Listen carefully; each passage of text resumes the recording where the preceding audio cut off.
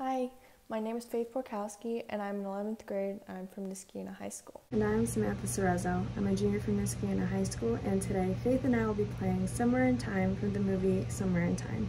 We hope you enjoy.